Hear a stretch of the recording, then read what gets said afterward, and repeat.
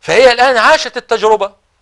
فتمنت الموت. قالت يا ليتني مت قبل هذا وكنت نسيا منسيا. علماء بعض أهل العلم أخذ من هذه الآية أن الإنسان يتمنى الموت عند وقوع الابتلاءات الشديدة وعند وقوع الفتن.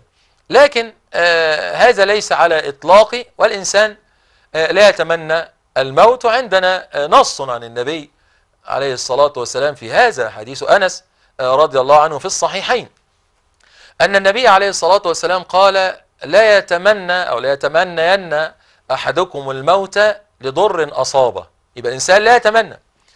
فإن كان لابد فاعلا هيتمنى بقى ولابد يفعل فليقل اللهم أحيني ما دامت الحياة خيرا لي أو ما كانت الحياة خيرا لي وأمتني إذا كانت الوفاة خيرا لي. يبقى يفوض الأمر إلى الله سبحانه وتعالى ولا يتمنى الإنسان الموت لضر أصابه بل يصبر على ابتلاء الله سبحانه وتعالى.